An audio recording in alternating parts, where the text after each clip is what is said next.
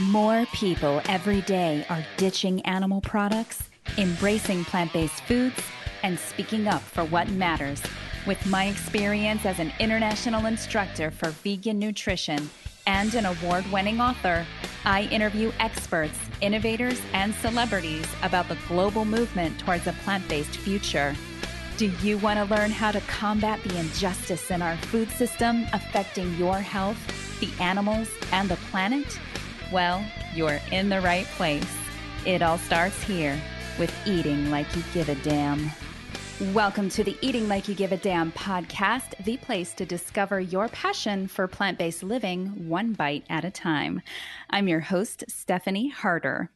Imagine for a moment waking to the sound of a rooster's crow and the clucking and chirping of hens and baby chicks and walking out onto your back porch to view the lush green landscape on a gorgeous day with a beautiful pond full of families of ducks and geese bathing and quacking away. And to your surprise, you see your pig dragging his blanket across the field from a nearby pen to establish his own preference for sleeping under the porch. And then he goes back to collect his toys one by one to place near his newly selected bed. And as you're scratching your head to how this is even possible when you are sure that you latched that pin yourself, you watch as a mama cow nuzzles and grooms her daughter with the same kind of love that you experience with other people in your life. Your farm dogs are watching over the goats who are headbutting each other playfully. And then you notice one of the goats is standing on his hind legs on top of a roof of a chicken enclosure, reaching for the limbs above. And you think, huh, how clever is he? These are just some of the amusing behaviors Kelly McCormick and Glenn Maresca wake up to every day at Florida Rescue Farm. In this episode, you'll hear how Glenn and Kelly originally started a homestead in rural Florida to remove themselves from the modern food system. They planned to raise their animals for their own milk, eggs, and meat, and then developed empathy for the animals that they raised for food and converted to an animal rescue farm and sanctuary. You'll hear them reference some of these animals by name, such as Moobee and Maybee and Norman, and you'll hear them talk about how the animals develop friendships and protect one another. We also talk about the economics of meat, dairy, and eggs, and how living as vegans helps them to save animals and the planet despite what the government is doing. And if you've ever wondered what it's like to start and run a farm animal sanctuary and how to budget for it, we totally cover that too. Now, my husband Dave and I first visited Florida Rescue Farm a few years ago, back when Kelly and Glenn were just starting down the path to living a vegan lifestyle. And after seeing the passion that they have for these animals as they told the tales of each of these animals, you know, their stories and they would talk about their unique characteristics and behaviors. I decided to help contribute to their mission by donating a portion of the proceeds from my book sales for the Skinny on Eating Like You Give a Damn to help provide for these animals. So, if you're looking for a guide and a resource to help you along your path to eating more plant based, Visit eatinglikeyougiveadamn.com forward slash book to order your copy of The Skinny on Eating Like You Give a Damn today. Now, on with the show with Florida Rescue Farm. I am super, super excited. I can't even contain my excitement right now to introduce Florida Rescue Farm. Glenn and Kelly, what is up? I am just thrilled to be able to have you guys on because um, we have a unique relationship that I had to actually go through my Google Photos and remember, like, how long ago exactly was it that we met when my husband Dave and I first found your farm and went to visit you? That was three years ago. It was yeah, June of 2016. Yeah, well, you were vitally important to our becoming vegan. Becoming vegan. Yeah. So it was. Um, That's how we know. Because you were the first vegan on the farm. You were. we were scared of vegans. Yeah, we, we were, were like, scared. oh, I don't know. Oh, you know, we didn't know what a vegan was. That was like. Uh, it, but, um, something that I have to say to you. Um, part of, of what made us become vegan was your compassion. And Aww. it's so important for people to to you know, it's okay. Some people are vegetarian, some people are eating meat, but if you embrace them with compassion instead of attacking them, it's really going to change people. And it changes. If you're us. asking questions instead of telling people what's going, you know, it's it's a big difference to make somebody else realize the next step, and, and um, you helped us do that. And then not only you, there was a few other people that came after you that that really um, solidified it. And if they would have came at us in any way that was not how As you say, compassionate. as compassionate, Yeah. you know, and and they listened to us, and we had questions, you know what I mean? Because at that Yeah. time we were still we were doing our own dairy, we were still eating the eggs from the rescued chickens, so we didn't consider ourselves vegan, and we didn't go full vegan until we realized that veganism is a movement, which you had a great um, thing in getting us going to that Oh, point. well, that's really, really And- great to hear. Well, it is. Yeah. and- Well, it, it actually was, and that it is a, a compassionate And what's movement. cool about that, you have to realize that people, um, you know, when you talk to someone who's not vegan and you do try to help them out and show them the way, you could be changing somebody's life. Yeah. And like, Right. how amazing is that? You know, that you can have a conversation with someone that sparks an interest that leads them to a To life that, that that doesn't kill animals. I mean, that's Absolutely. amazing. Yeah, That and, can and happen. how much does that benefit the animals? Yeah, right. so um, eventually, Oh yeah, the benefits are just like you know. I mean, it's it's more than just animals. You know, now now we no, understand the more about environment, the health, exactly. So any there's just aspect of it. So many different facets to just Mhm. opening up the floor to have the conversation. And you guys, when I met you, you were like totally open to it. So even if you didn't quite know what a vegan was and you were a little scared of the idea of it, Well, you we guys were super open to the conversation. And that is Yeah. exactly what gets when me up come at it- every morning. Yes, because Yeah. we had come at it from a different angle. We were we realized that the commercial food industry was, was horrible. That it was not um, giving you nutrition; it was just basically giving you calories. And we wanted to produce all our own stuff and and all our own food, our vegetables, and that included raising meat. Also, so we were going to do it all, and we were going to do it ourselves. And uh, like Kelly said, we were going to eliminate the grocery store um, and and and and do it all ourselves. And through that process, we learned that you know, by by raising the animals, we knew we are never going to kill each animals. You know, Right, So- right. So th- I think this is a really, really great place to kind of kick off because, I, you know, I'm really curious. This is one thing we didn't get too deep into anytime that we've talked. You know, what was your life like before? Like, what was it like before you had the idea that you wanted to get out of the commercial food system and that you wanted to start your own homestead and living off of the land? What sparked that interest? I I actually worked in a restaurant um, um, as a cook, as a saute cook. And um, Kelly was, what were you doing, man? I, I was doing. I, I did like computer work, Yeah. like websites and stuff. But I also volunteered at a lot of wildlife rescues. Mm. And I look back on it, and it's funny that you would go there all day and take care of wild animals and like, you know, take care of baby possums and feed the owls and do all this stuff. But then you'd go home at night and eat chicken. Yeah, and, And, and I honestly did not see. I did not realize that that was But you were wrong. first to realize it. You were like, we need to eat less meat. We Yeah. need to start doing stuff like you were the Yeah. one that started pushing me towards it. Because being as as a cook and growing up at, at, in New York where I was raised, um, you had meat with every meal. I mean, um, it was it was three times a Well, day. So and it was um, quite a transition for me. Um, and at one point in my life, I was like, I, I will never stop eating meat, you know. And um, but here I am. well, it Isn't was that what weird. most people say too? Yeah. Yeah, yeah. and throughout my life, I like I would I'd be vegetarian for a while, and then I wouldn't. I kind of drifted back and forth because I I think I understood it somewhat, but I never really thought about it. And that's And where did you originally and where did you grow up, Kelly? Um, I was born in Fort Lauderdale, but I was raised in Colorado, and then Ah. came back to Florida when I was like 15. Okay. Um, but I never, I, I would go vegetarian because eh, I didn't want to eat meat, but I didn't think about like, why am I not eating meat? It was just a thing. hmm There's something when you finally realize what's happening, you just can't go back to that. No, you can't. You know, you once, Sure. once you know. And if you ever work with these animals, and like I, I, I caretake for them for 20, 24 hours a day, um, you you will never eat them. Well, I remember at the end um, when we were we were down, we were eating, we were still eating store bought chicken, and um, and and we were like, you know, chickens are like they're they're like raptors. You know what I mean? They don't they don't have friends. And we had these two hens, um, Lady Day and Big Bird, and they went everywhere together. They were best friends. They did not arrive here together. They just became friends.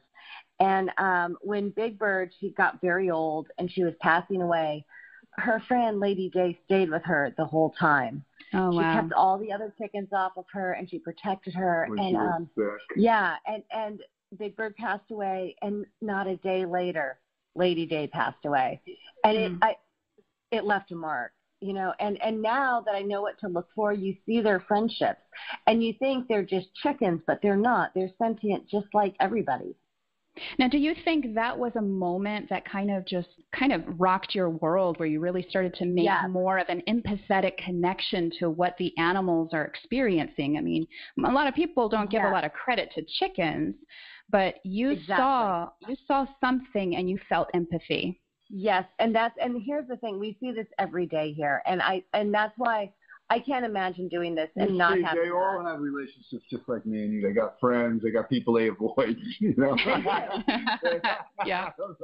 And that's how you know it's it's- genuine. That's how you know it's genuine. You know what I mean? Yeah. But, um, they they are um, amazing and just well, and and even cross species. Um, Yeah.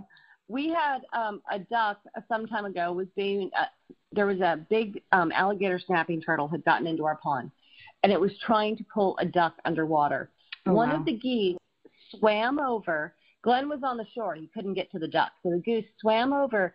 It actually pushed the duck to shore where Glenn could rescue it, get the turtle off of it, and take care of the duck. It knew. And it, you know, they're totally different species, and yet it wanted to help its fellow animal. So it's things Wow. like that. Yeah, it's amazing. Well, it's the interspecies thing. You know the Moobee story. I mean, that was that was a big thing that changed my life. Um, was was Moobee. Um, we have four cows, and I was out front picking up fertilizer. And um, the cows, when they when they want to protect their calves from the ranchers, when the ranchers come to take the calves away from them in the beef industry, they will um, circle. They'll make a circle around their calves to protect Right. them, and then the ranchers have to break through to um, to get through them. And um, so I was out there, and the cows started getting close to me, and Moobee started pushing me, and I was like, they, they had they started looking, the cows started looking towards the orchard, and I looked towards the orchard, and there were two coyotes going through the orchard, and um, that's Gypsy. She's our number one guardian dog. Hi, She's on the way out now. Welcome to the show, Gypsy.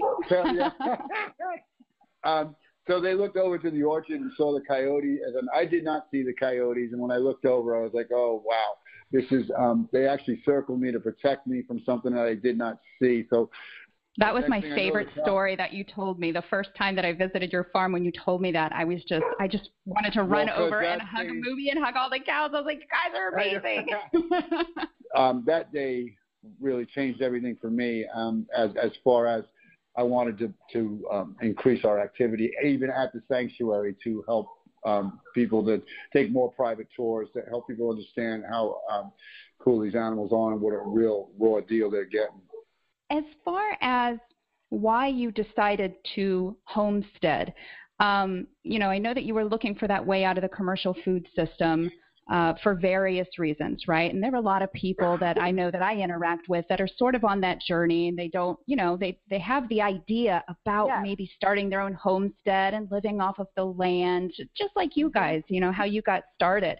How did you Mhm. decide that you were the right people with the right knowledge and the right tools to actually do that?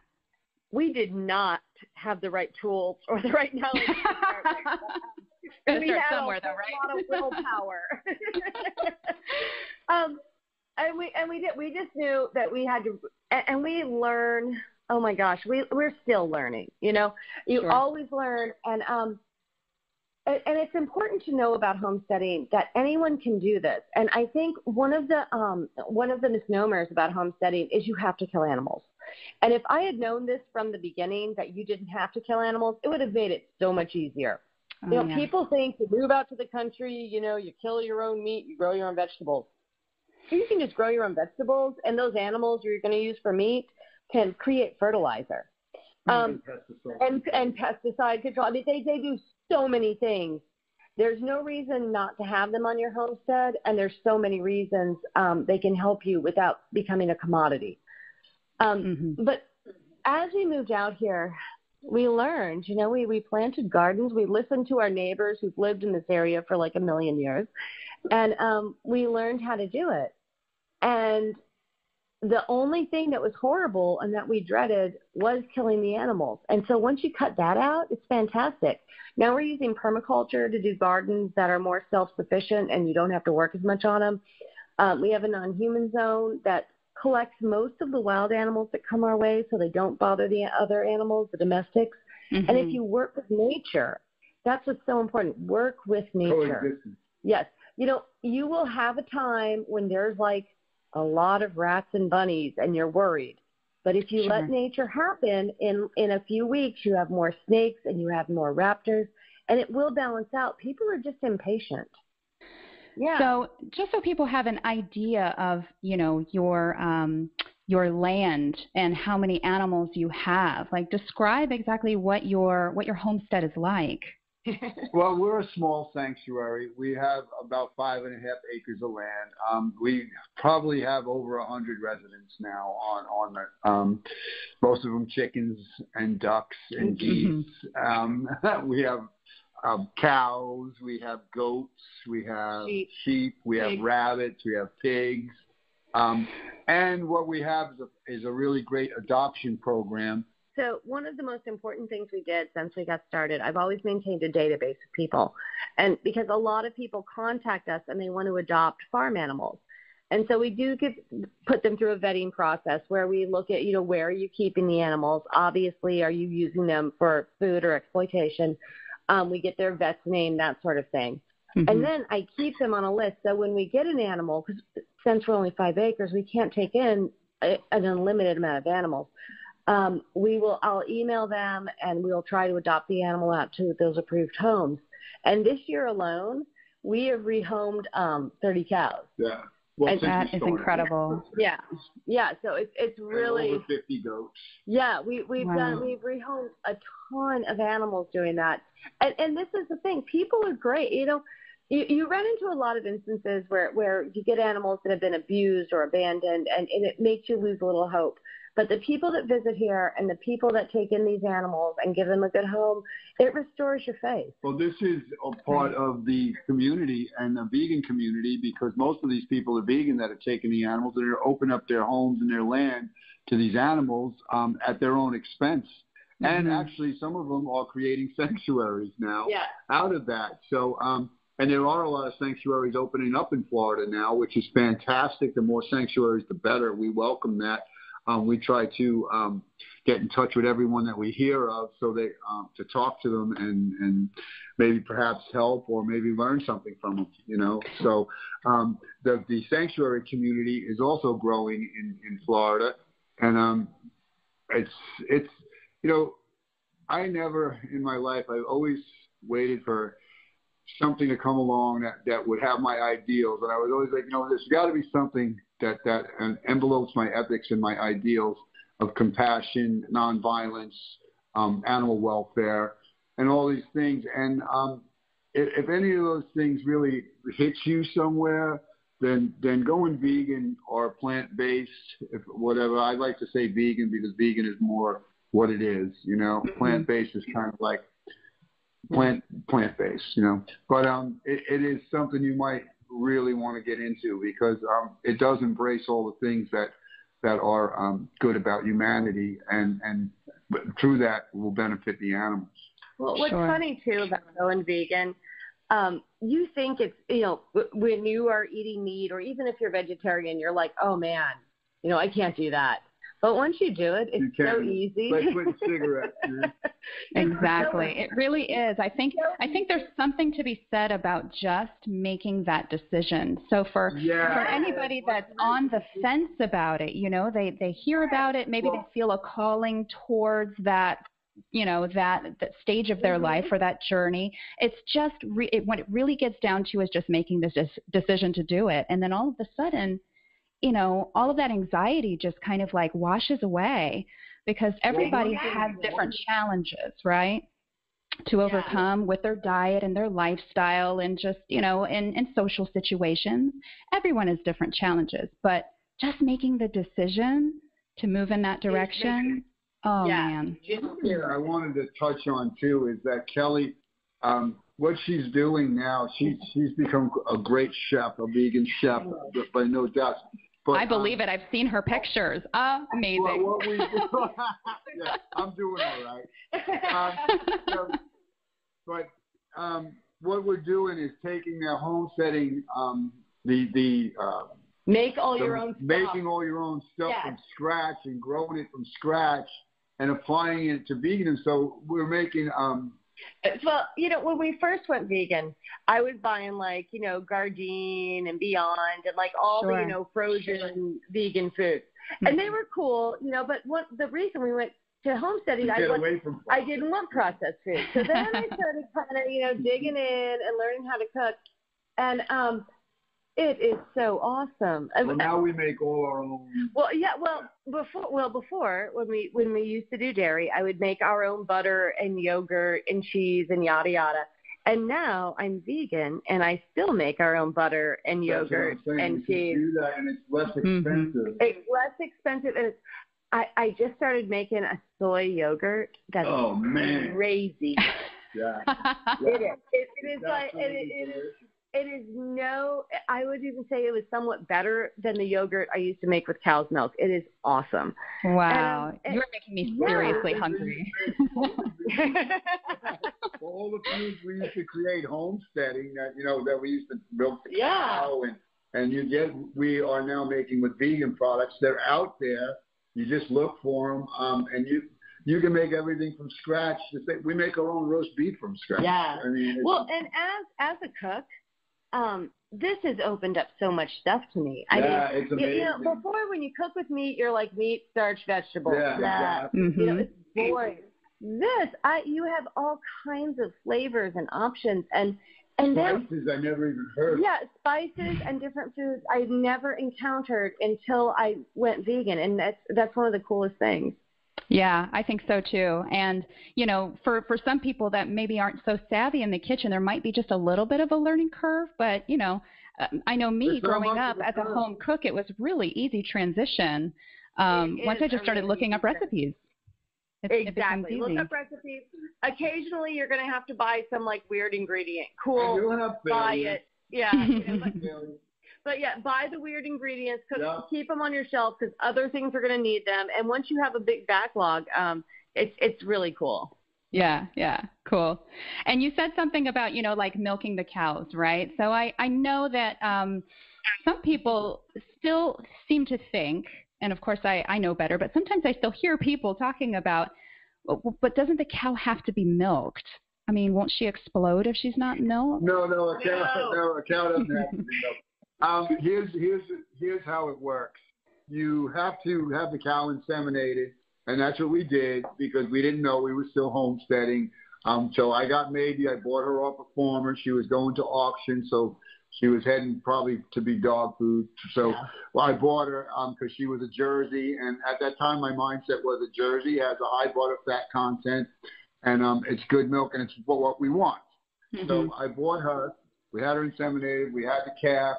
But after you have the calf, now part of the dairy industry we didn't like was that they take the calves away from the the moms at such you know a day or two, and they're gone, and, and that's a horrible, horrible thing. So we were going to keep it together, and we did. But the calf actually nursed for like a year and a half. So um, she got too she tall. got too tall. But what I would do, I would take the extra milk from the you know when they were done, I would take a little extra milk, and and then when she was done nursing, I took about a milk a cow will give as much milk as you take from it to produce. Mm. So what we were doing, we was trying to do so-called humane dairy at that time. So um, we would take, I would take a gallon to a little over a gallon of milk a day, and I would milk her once a day, so it wasn't as intrusive as um, you do in a, in a um, commercial situation where they take three to five gallons like two, three times a day, which is I, I can't even imagine. But even the little bit of milk I was taking had a health impact on the cow itself. She was skinnier, and I mean, we fed her all kinds of stuff while we were milking her, extra vegetables. We gave her extra protein so she would get, you know, reduce milk because that's what you're well, supposed to do. But imagine you're losing a gallon of calcium basically a day. I mean, that takes a toll on it. It takes, it does take a toll on even doing it the way we would do yeah. it. Sure. But um, that's how it works. And we, uh, you go in in the morning, and this is a great. this is how you milk a cow. She won't let her milk down unless she wants to. Um, unless she's hooked to a machine. I mean, which then is which is horrible. Then it comes mm-hmm. down. But you got to go in. You got to like. It's like you got to coax her. It's like, hey, kid, come on, you're gonna give me some milk today or what? So I used to sing to her, you know. And um, oh, that's that's interesting. I, no, no, no, it's funny. It, it, it gets worse. Um, so I'm like, you know, that's what I read. Let's sing to her. So I'm singing like Beatles. I figured Beatles are good, right? That's that'll get it going. yeah. Nothing. You know, I was like, I did some soul music, even though I can't sing it. I was like some Otis Redding, maybe, you know. but um, my my brother had sent me a Queen tape, um, a Queen CD that he had made for me, and uh, I was listening to Queen. So uh, I tried "We Are the Champions." Nice. He started giving milk out like it was crazy. so uh, every morning I would have to sing um, "We Are the Champions" to the cow to get milk for six months. But um, I would wander out on the back porch and you hear Glenn in the cow shed. We are the champ. He's like singing the song. It was hysterical. It was so, and, and God bless her. But then, that cow was like, she is so kind, and yeah. she helps us no ill will. And Aww. finally, one day, that went on for about six months after. And then one day I went out there and me and Kelly had been talking. We were like, we need to back, um, we need to go vegan. We need to back our people in our yeah. community. And um, so uh, we were we were heading that way anyway. And I went out there and she looked at me and I looked at her and I was like, we're not going to do this anymore, are we? And, and um, because, and that's what we did. And then I gave it up. Well, and because we were taking such a limited amount of milk, um, stopping milking wasn't that hard for her. No, it's you know, not. You just it was stopped. yeah, we just stopped, and you of course you keep an eye on them to make sure they don't get mastitis or there's no problems. But she um she did fine. But no, and they don't have to be milked. They don't mm-hmm. have to be mm-hmm. milked, and and to this day, I mean, her daughter is what three, four years old yeah. now. Um, and she still cleans her daughter's ears, and she still snuggles up They have a bond. Her. They've never been mm-hmm. separated. They bonded immediately when the calf was born um, Maybee made a noise that she'd never made before after a sound. It was like to welcome the calf. It was. It was, it was a year here. It was like I'm right wow. here, your mother. Yeah, and, um, they have bonded ever since. So, and these are the things you see that that you know it's easy to be vegan once you when you when I'm right here in front of it. You know what I mean? Um, right. Because you can see the bond between the mother and the daughter and how how it's instant and how through the years it has never changed. Well, so. and that also leads into the importance of um, farm sanctuaries and visiting farm sanctuaries. Yeah. Some mm-hmm. I can imagine going vegan and not seeing the animals. It would be it's a little more disconnected, and I think that by touring farm sanctuaries and getting in touch with them or volunteering at them, you see the animals you're saving. You see you you realize why you're doing this. Yes, absolutely. It's it's such a huge piece of the puzzle because, you know, in today's society, the majority of us don't get the opportunity to meet a cow or to, you know, get to witness them living in their environment and, and doing what they naturally do. And chickens and pigs and, and geese and yeah. everybody. Yeah. Yeah. And that's where we come in. I mean, everyone's doing their part. I mean, it's, it's a small part, and it's people out on the front lines doing their part and um, the direct action everywhere, everywhere, and Anonymous for the Voiceless. These out there activists out there going into slaughterhouses and and mm-hmm. stopping the lines and stuff like that, and the cubes of truth and so on. It's all, um, I believe, all of it works together to create what we're trying to establish and what we're trying to get our end goal. Yeah. Absolutely. Working in cohesion and, and, and coming in from different angles, I think, you know. Um, yes, it does. And it's yeah. different. You know, our approach is less in your face. You know, it's right. more, it's, it's, we give private tours. So we, um, you know, we have a family or, or people and their friends come and it's easy to open up in that environment as as opposed to having 30 people where you're just there and you're not going to say anything because you don't want to, you know, you're not sure you're going to you don't know, you know. So, but um, it, we connect with the people right off the bat. Plus, we are the the people who run the sanctuary. So you're not getting led around by volunteers or anything like that. You know, so you right. you're um, we get to establish relationships with the people that come here right away. And, you're sharing in the relationship, the stories that that um, that you know from the relationships that you've built with the animals that live exactly. at your sanctuary well, as well. We I don't. The, the pro, that's exactly it because I don't think someone could convey yeah. how strongly we feel, you know, and and, and mm-hmm. get our message out if it wasn't us giving that message. Sure. And so, as far as the area that you live in. I know that you're out there in, in, a very rural area and you're surrounded by cattle ranchers, right? Yes, ma'am. Yes, we are. Yes, we are. Right. So, so how interesting is it for you that you're a small animal sanctuary that's surrounded by cattle ranchers? So, what's what's the relationship well, like with with your community? Here's the thing. You know, you would think it would be extremely tense, but we are. These people are not bad people. They're our neighbors. They're our neighbors, and they're good mm-hmm. people. If if my cow has a problem at three in the morning and I can't get a vet and I have no help, I can call them and they will come over and help us. Yeah. The problem is the reason they raise meat is because people buy meat. Okay, if people were not, if people weren't buying meat, they'd be raising beans and peas and potatoes and all kinds of things. I have relationships with the older ranchers and and the younger ranchers. Um, it, it's a generational thing. It, it, they it, they've been doing it for generations.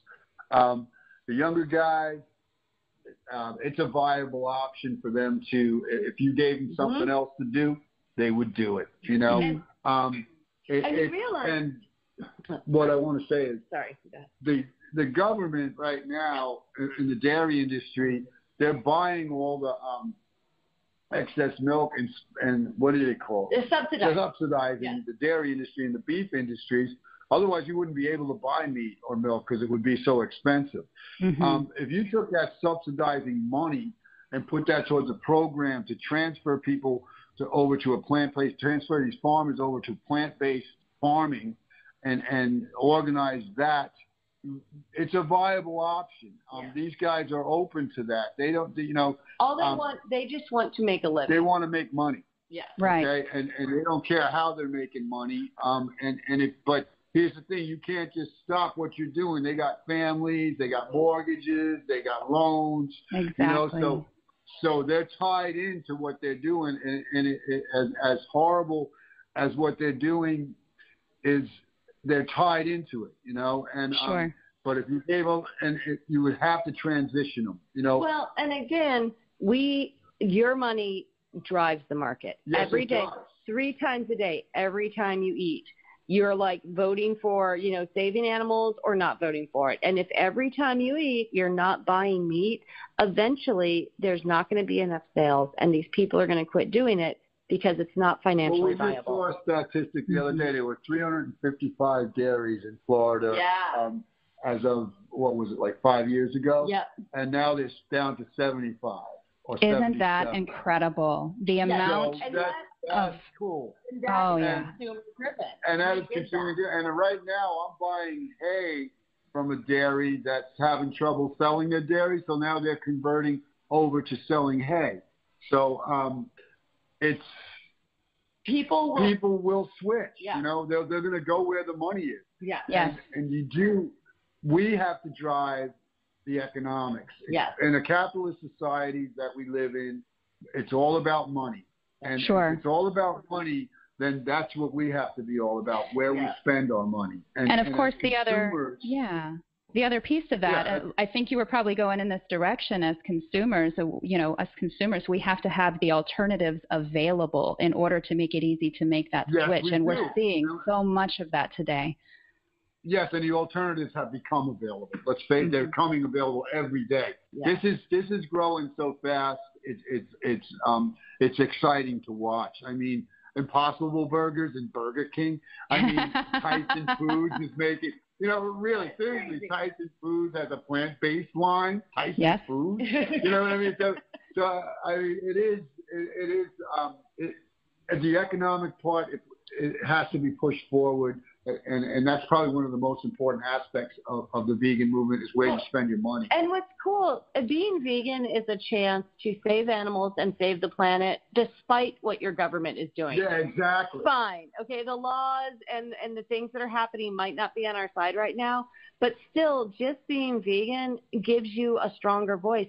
It allows you to stop. It allows you to help with climate change. It allows you to save animals' lives, regardless of what our our elected officials do. Mm-hmm. Absolutely. And this is such a strong, you know, message for going vegan, which is absolutely incredible. And what would you say to, um, you know, in a compassionate way to those people who can't really wrap their heads around it quite yet? I would say I'm the nicer one, so I'll go first. Um, yeah, you know what it is? It's a slippery slope. Okay, start with like meatless Mondays. Okay, fine. And you know what you realize when you start eating less meat in your say your evening dinner, you realize it doesn't have to be dependent on meat. You realize that like every food doesn't have to have meat, starch, vegetable. You you start to open your mind to more creative cooking alternatives. Mhm. And then you, know to feel better. you start to feel better you know you have more energy you feel better you're more active and you and you feel less guilty and you're like this is great and so then you switch to maybe being vegetarian and the whole way down the line um, the more you learn and the more you experience the easier it is to make the final transition It was a long process for us. It was it was step by step by step by step because we were homesteading and we didn't think we were doing you know anything that was out of um out of the normal. You know. Sure. So, um, yeah. and, and we were creating. A, but I would say it is something you really want to get into, and if you want to get into it, I have a great book for you. oh yeah, what book is that? That's the skinny on eating like a human bear, right? yes. That's what I'm saying. Get a rebel for compassion. So, yeah. Inform yourself. The China study. Um, Dr. Campbell. Anything Dr. Campbell has written. Dr. T. Campbell and um, um, documentaries. that are out there. The ones you told us about. Uh, uh, What the Health? And overnight. go to a farm sanctuary Go to a farm Yes. sanctuary. Um, and and you will you will realize that there is no difference in in any living creature. It just wants to to Well, live. and also um people it, it, it, you don't have to be so strict on yourself you know Yeah. you, you nobody is perfect there is there are there is meat and animal products hidden in all kinds of crazy Yes, places is. in our lives Mhm. That's and such so a great it's okay point. yeah you know, I, I have read that they use like some kind of animal fats to like grease a factory where they make um smartphones Mm-hmm. well, you, I I'm not able to defeat that. Okay, I don't Sure. love to, but I can't. So, um, but you do what you can where you can. You know, you can. yeah, the do motto. the very best you can do, but you don't have to be perfect. And I Yeah. think a lot of people are scared of being vegan because they feel the need to be perfect, and you, and you don't have to And be. you're not gonna be. Every Mhm. time you don't eat meat, you're saving a life. Exactly. Every time you don't eat dairy or eggs, you're you're keeping an animal out of a prison. So you know it's it's okay if every now and then something happens and something slips through the cracks. You know. Yes. Go ahead. That's really great too. And I just wanted to also um, talk about like the eggs, since you brought up the eggs and you know being homesteaders. Um, you know, what do you do with your eggs uh, that the chickens lay there on your land? That's a great question, and um, we give them to our dogs. Um, and until and a- and that was one of the last things to go before we went vegan because yeah, because since they were all rescue hens, we didn't really see anything wrong with eating the eggs, and I don't really see anything wrong with feeding them to the dogs. But Mhm. the reason we quit eating eggs, um, we wanted to support vegans. yeah, that's the only reason I quit. It really is. Um, I, you know, everyone that comes here and everything we do, vegans are the people that are doing what we ask you to do, not to torture or enslave or slaughter these animals. And if by not eating eggs I support those people, I'm totally good with that. Plus, um, scrambled tofu is excellent. Yeah. There you Scrambled go. That's. What's the salt? Kamala salt? Yeah, whatever it is? kala namak. Yeah. If you don't have it, get it. Get it. Oh, it's awesome. Um, So let's get a little bit into the sanctuary side of things, the day to day operations, because I know that we have some people in our community, they're actually open minded to starting an animal sanctuary someday. So, based from your experience, what kind of advice would you give them to get started? Um, what I would give them to get started is you have to have some type of animal education. Volunteer at a local wildlife or a local sanctuary.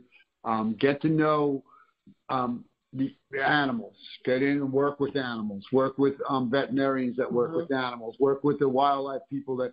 So you can you okay. So in the future, when you run into problems, medical problems or issues and stuff like that, you'll be able to spot them because that's the main part about um, animal welfare is, is, is making sure you spot it early, any condition that you can see because it's a lot easier to handle before it gets out of control. Um, mm-hmm. I would say you would have to buy land, a good amount of land. You would you're going to need a lot of pens, well, I. I'm going to interject. I want to talk about sustainability. Um, one of the things we do, and, and we really like to promote this to people that donate to us, 100% of our donations go to the animals' feed, shelter, and fencing. Yeah. We pay for the land, we pay for the house out of our pockets. Nobody here makes money. Glenn works here full time as um, an animal caretaker, and I hold a full time job. And we donate approximately 50% of our um, yearly budget.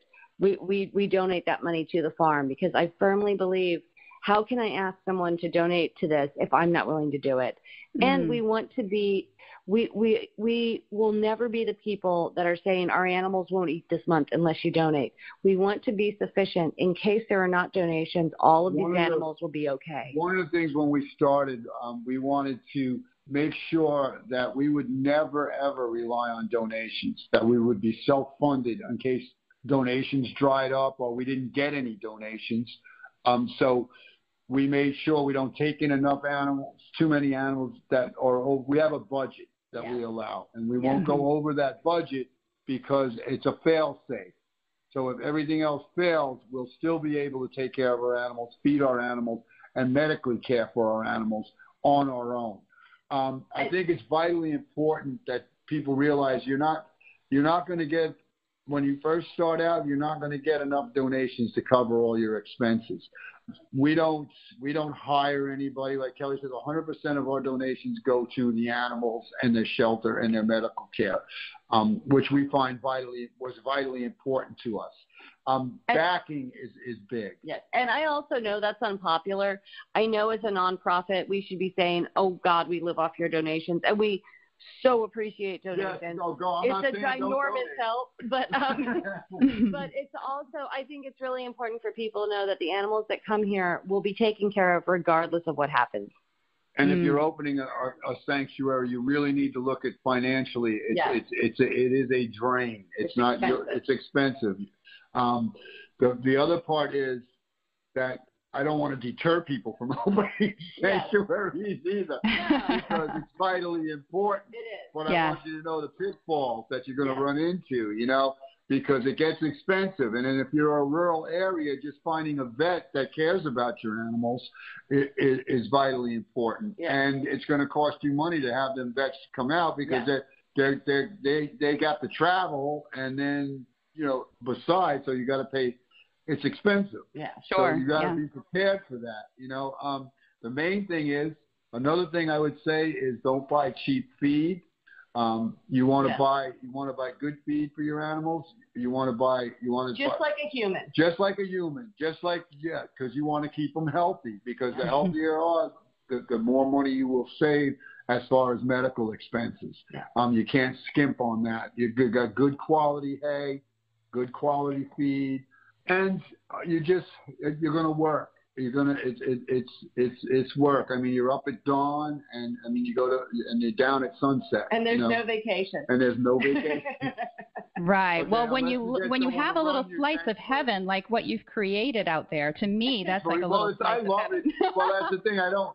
I don't really want to leave, but I mean. Well, that's what I always say. If we went on vacation, we'd probably just go to a farm sanctuary. Yeah, we'd probably so just go, we'd go like, of course. Probably go to exactly go to another farm sanctuary yeah, so, see what they're doing. Yeah, so so, and don't be afraid to ask questions, and don't be afraid to go to another sanctuary and find out yeah. if it's something that you really want to do. It is consuming, and um, but once you make the commitment, I mean, there's nothing more satisfying. I can't say it's not the most Oh, satisfying thing when- I've ever done in my life. when we get animals, especially the ones that have been Yeah. they've lived in a cage all their life or a small enclosure, when they first come out of there and see like all of the other animals Yeah. and um, like the big field and the pond, it's it's the coolest feeling ever. It's it's Oh, so worth it. imagine. And then you just walk outside, you know, and and then Moobee's cruising by with Norman or something, you know, and he's like, "Hey, what's up?" You know. Well- so it, it, it's it's it's wonderful, and and you get an education. It, it's um, I've got a spiritual education for sure um, by Mhm. watching these animals and observing them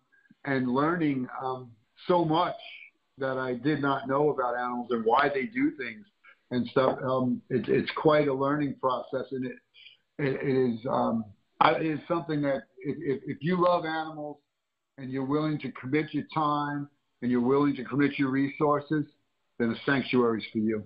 Wow, that is so moving and inspiring. Like, I'm really excited for people that have reached out and said that they are looking at eventually starting their own sanctuary and, and knowing that, you know, you're there and you're just so generous in the type of knowledge that you provide and, and sharing your experience and knowing that they can go to you and ask these type of questions and see how you're running things. It's true, and and on the other hand, I mean, it's always good to have more people in more sanctuaries because they do things differently that you might not have thought of. You know what I mean? So you actually share in, in each other's knowledge of, of once you get up and going because it's like anything else. You know, um, you can go through your whole life and you're like, oh, do this, and then one day somebody says something to you and you're like, oh my God, I never thought of that. You know what I mean? So, And people should know too. There's other ways to help other than opening a sanctuary yes, there sanctuary. You know, go and volunteer at a sanctuary, of course, but also there's cubes of truth. There are Tampa Bay Animal Save. Tampa Bay Animal they Save. There's all up. kinds of animal save movements. Um, also, you know, on, on the very lowest level, bake some vegan muffins and take them into your office. You know, There can you go.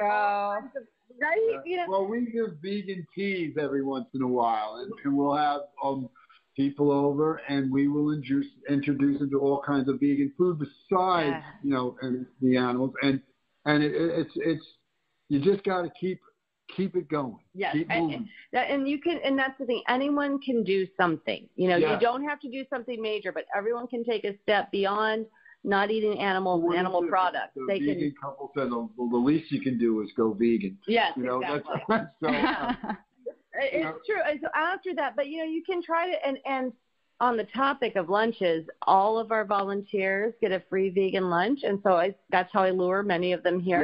yeah, we there you go. That is a great lure. And then we send them away with a with a with a package of food, Yeah. so they're all like, yeah. So they, they don't even come to work. They just watch me work, and they're like, "When's lunch?" I'm only kidding. Our volunteers are wonderful. I, you, you could probably edit that out. we'll see. no, I love our volunteers. they are they are awesome people. so then, and I know that you run your tours because Kelly, you still you still work a full time job during the week, right? Yeah, yes, So they you- do. Yeah. So you run your tours like pretty much on the weekends. You you designate the Yeah. weekends for that. Yeah. Yes, we do. And and that's just because um, on the tours it takes two people. You know, at, the very least, our darling goat Billy um, loves to headbutt everyone but us, so someone has to walk him on a leash. And then if you're out back, you know, somebody's got to keep an eye on Moobee and make sure he's being good while someone else leads the tour. So well, it is, because our animals are free, they they, They roam free, free. they roam free and they coexist. So you, you don't have cows in a pen, goats in a pen, pigs in a pen, chickens in a pen. So they're all running around free. So it takes two people just to keep an eye on things. yeah. Sure. You know, make sure they don't get out of control. Yeah. So, um, but it, I think the experience is worth it. I think it's cool, and um, I would come here, and that was the basis I wanted. You know, when we created um, the sanctuary, we, we wanted to create a sanctuary where it's it's the animals' land, and we are the caretakers. Um, we're not the benevolent masters. We are we are the um, caretakers and servants to the animals, and um, that was one of the things we wanted to do because I think it's vitally important that that um, that's how you approach it. You know, because if you have the mindset of, of being a master or or you're, you're An gonna owner. an owner, you know, then you have a whole different mindset. So Correct. we needed to approach it from a different way and, Yeah, and give the animals the respect and dignity they deserve, and that's that's We're our mission. We're here for them. Mhm. Oh, that's such a great point. Now, what's now as as caretakers and um, and rehomers, and I know that that's another extension of what you provide at Yeah. the sanctuary. Is you know if it's uh, if it's somebody a resident that you're not able to take in, you know you, you only have but so much room for you know the cows and the pigs and you know the rabbits, the the chickens, the geese, everybody. And um, Yeah. so if it's somebody that you're not able to provide for and you're able to rehome, what do you see is the biggest problem out there, or what's the most rehomed animal that uh, that you oh, see? God. Pigs Pigs and and roosters.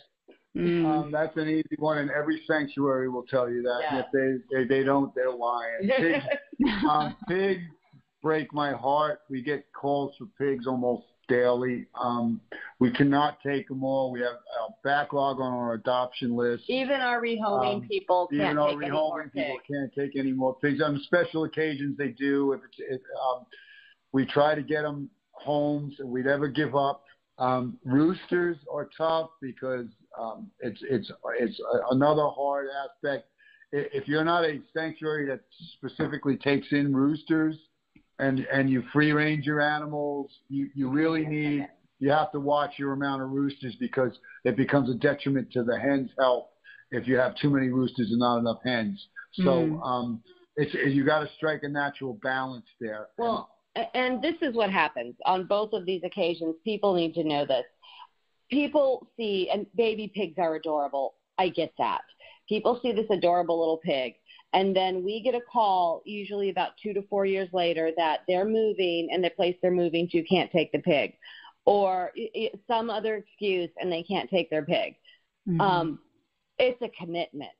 Okay, and pigs Yeah. are as smart, if not smarter than dogs. And one of the problems when you do get rehome them, when you do get them from that scenario, they're heartbroken that their people left them. They don't understand why their people left them, and they don't adjust as well as the dog. no, they do not adjust. Pigs So- are very loyal. And you know, everyone Mm. wants to go out and get that cute little piglet. Instead, why don't you go and adopt a four-year-old pig that needs a home, or spend time around them and see if that's an animal you can handle. Although they are domestic and they're wonderful pets and they're super intelligent, they they're still a little wild in And them. see the younger people out there, um, pigs are not an option for you to to buy because you're going to be. It, it's a if you're commitment. renting, you can't. Yeah, if you're renting, it's a commitment. Yes. When you make a commitment to your animal, it's a lifetime commitment. It's not Absolutely. unmoving. You need to, you need to find a place that will take pigs, and that's hard to do. and that's hard to do, but that's what you need to do. You need to. And I, I- I would. yeah. You're not going to not take your dog, right? Yeah. You're taking your dog, but you're not going to take your pig. Yeah. You know. Right. So I mean, I'm not. I'm not coming down on people, and I understand situations happen. Yes.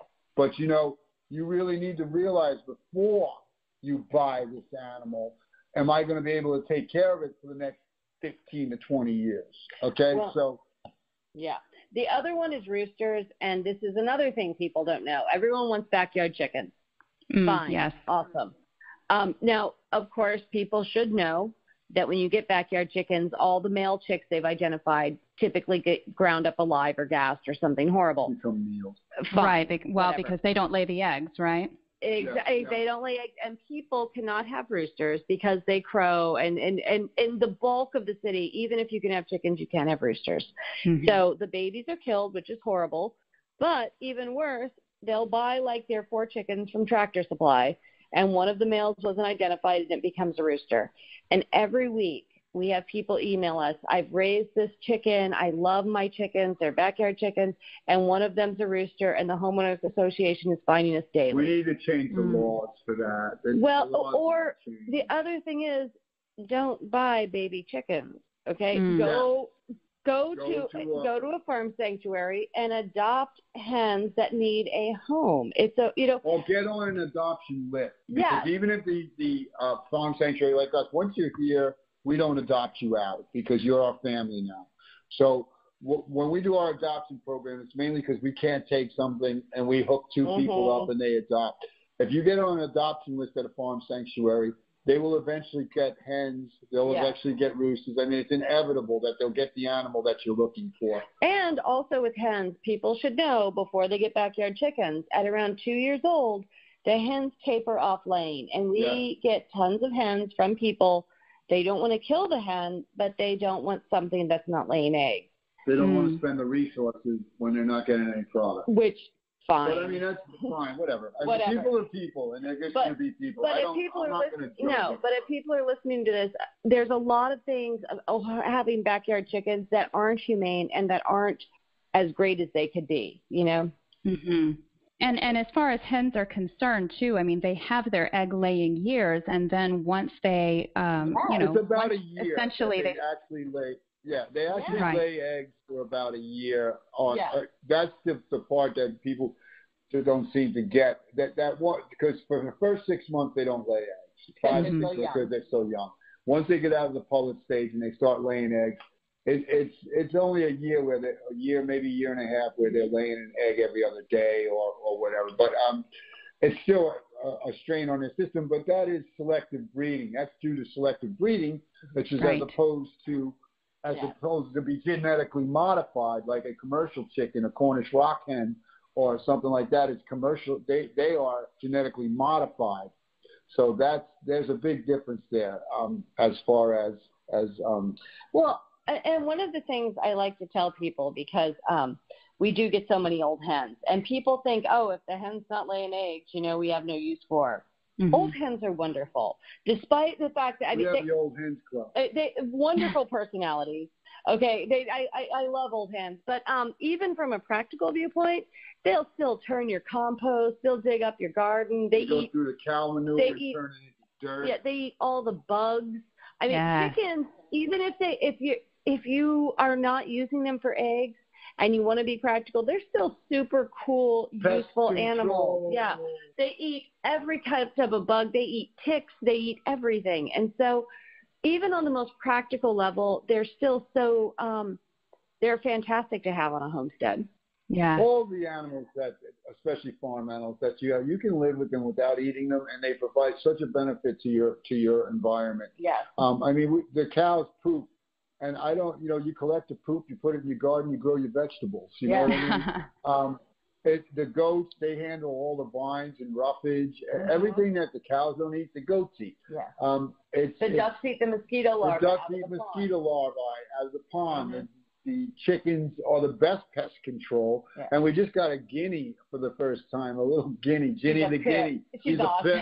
pit, but she's a bug-eating machine. So um, I didn't realize. oh, what a good little worker you got there. yeah, yeah, there they go, you know. So, and they do it naturally. It's Yeah. not like you know, you- I'm not fleeting them around and saying you have to stay here and eat bugs. You know, they're just doing it. they just you know, do their so- thing. Yeah. And they do their thing, and then once your garden gets growing and you got things growing, and, and um, right before your vegetables start to come in fruit, you can send the chickens in, and they'll wipe out every bug in that garden. Yep. Um, so, and without using any pesticides, without Right. using herbicides, without any Well, the we even in in our rabbit um, refuge, we have a little rabbit area. Um, we have chickens in there because they provide a natural pest control, so we don't have to put anything on the rabbits. The chickens eat the Mm. fleas, and the mice, and the ticks. They eat all the stuff, so the rabbits can live naturally, and the chickens act as like a, a janitor. We Yeah. work, we're trying to create a coexisting environment and, and work within nature and the natural balance. And that's that's what we try to do. And we also try, try to provide a habitat for wildlife. Um, so we take over a third of our land and we call it a non-human zone. We don't go in there. Um, the animals go in there. We'll go in there if there's an animal in distress or, or if somebody's missing or we hear something going on. But otherwise, we leave it alone. So it's a self-sustaining um, area on our farm where wildlife lives and, and, and benefits from it. And then right next to that, we have the permaculture garden coming over that, which provides food for us and wildlife. Well, Mm. and on the topic of the wildlife habitat, anyone can do this. You know, anyone, even if you have a city lot, Yeah. take like that back corner of your lot, let the grass Let grow grow. tall, plant some wildflowers for the bees and for the butterflies, and give nature a little spot. Because if we all did that, nature would have a much greater foothold. Absolutely. And you guys are just a living breathing example of what life could be like once we start to phase out um, animal agriculture in the way that it's being, you know, produced today. And well, that was our our be the change. Yeah. Um, was was our motto when we started yeah. homesteading, and now we've come so now far. we're really being the yes. you really are the change for sure. but but yeah, and and that was the Gandhi quote, and we we we lived with that in the back of our minds whenever we we did stuff. We we, we wanted to um, be the change, be what you want the world to be, you know, and and so what we're trying to do is, is create an environment where everything can coexist, and and you can still produce your food, and the animals don't have to die, yeah. and um and you live within the rules of nature, yeah. and and nature's brutal sometimes. I'm not, you know, it's not always beautiful. True. I know a lot of people like to bring that up too in conversation when they're exploring the idea of what it must be like to uh, live as a vegan if they haven't quite wrapped their mind around it yet. You know, they you know they'll they'll talk about you know well this is the circle of life and and nature is brutal out there and so it's it's really interesting to hear from your perspective and how you have made the shift towards what you used to eat before and then how you eat and live now. And that is such a huge huge inspiration and it's so educational for other people to kind of pick up on. So i just absolutely love what you do and thank you so very much for everything that you're doing to help people with the education and to help those animals too. Thank you stephanie and it's always um, See, and, and, you know it's funny? And you help plant the seeds. And you That's help the plant cool the part. Seed, right? so, I mean, it's all this is what people should know. Like, if you yeah. turn one person into a vegan, you never know they you might open a park sanctuary happen. and save like hundreds of animals. So cool. you, you, just don't know, do you? Exactly. We're all about planting the seeds, baby. yes, it is. and let them grow. Yeah. Absolutely. And, and we appreciate you and David so much. Yeah, so, you guys are awesome. and um, thank you so much. Absolutely. Oh my gosh. And um, please tell everybody how they can connect with you and what they can do to help support you. Um, well, you can find us online at Florida Rescue Farm and also on Instagram and Facebook, um, Florida Rescue Farm. You can look us up. If you go to our website, we have a section on support where you can you can buy a bag of grain for the animals. You can donate.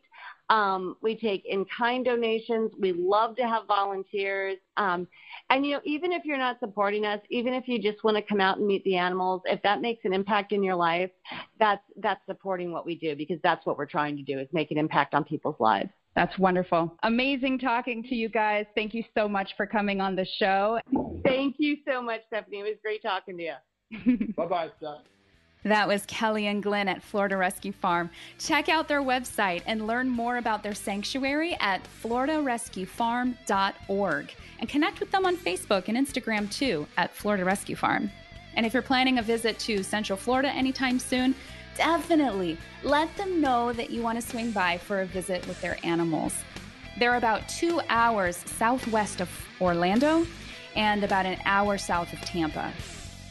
If you're looking for recipes and support from fellow rebels who are transitioning out of the old food habits, don't forget to join us in the Eating Like You Give a Damn community on Facebook. Go to eatinglikeyougiveadamn.com forward slash group and request to join.